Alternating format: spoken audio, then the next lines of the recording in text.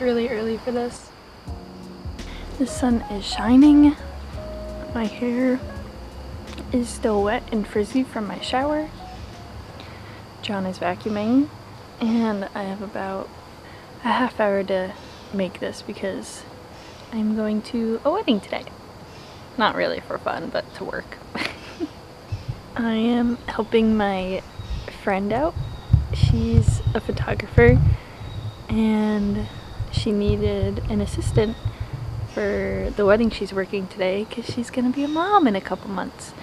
I've always wondered about wedding photography. I've loved photography in general for a while now, but have always just done it for like a passion, as a passion.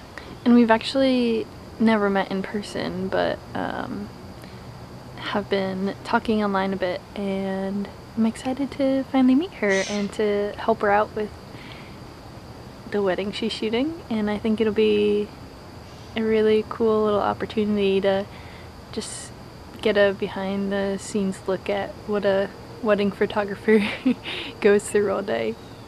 I'm going to meditate first today. There's just such a stillness in the air right now and there's no real noise around me and I want to capture this moment before somebody starts mowing their lawn or playing music outside.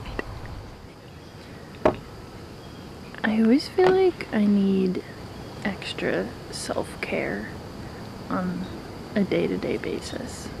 I need like three large meals with snacks in between, plus water, tea, peppermint oil if I get a headache. I need to meditate or else I'm stressed and overwhelmed. And I feel like people could just carry on their day so much easier than I can. I feel like I need to remind myself constantly that I need to nourish myself in some way. Just thinking of going to this wedding today, like, I'm gonna get there at noon and I'm going to be there till 9. So, like, what am I gonna eat and drink all day? John made me a pasta salad last night so I could bring that in the car and eat it beforehand before I get there. And then I have like some granola bars and a sandwich that I'm bringing too, but since I'm vegan, I can't really rely on just like always having food available for me somewhere or being able to order something quickly like a normal pizza or a sub or things that people just rely on when they're out all day.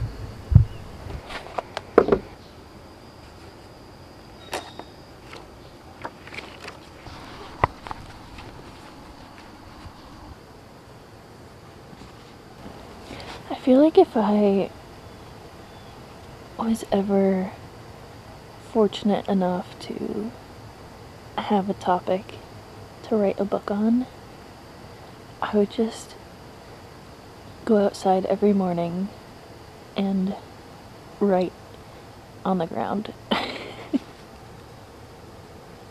enjoy this so much.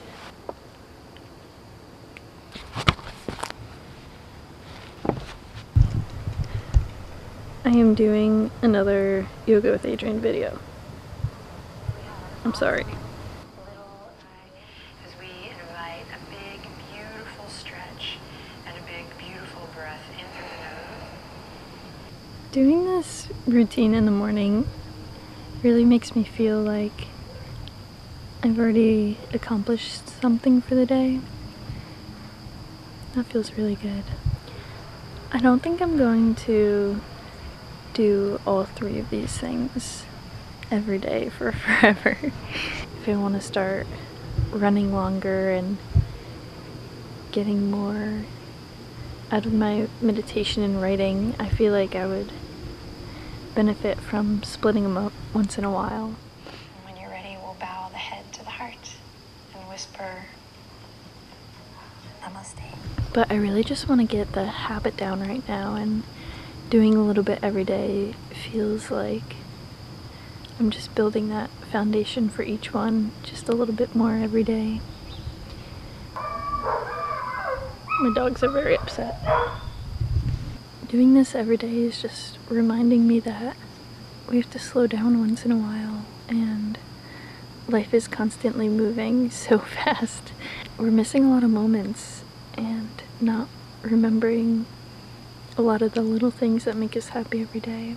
Everybody's so focused on their big goals and being successful in life, in their career, and checking off all these boxes in their life, but life is really just made up of all these little small moments.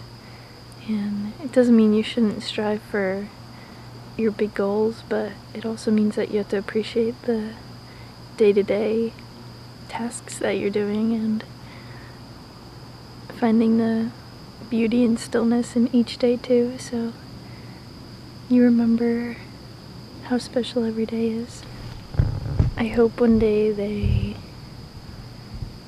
teach us from a young age that mental health is really important and that everybody goes through these struggles and gives us some practices that we could use every day because I think it's life changing, especially for the younger generation to realize that as you're growing up as a person, you're gonna change and things are gonna happen and you're gonna feel lost or mad or sad at the world and that's okay. Finding a better way to channel those feelings. I really hope you can get outside today and enjoy this beautiful day if it's nice out. If it's not, maybe go dance in the rain.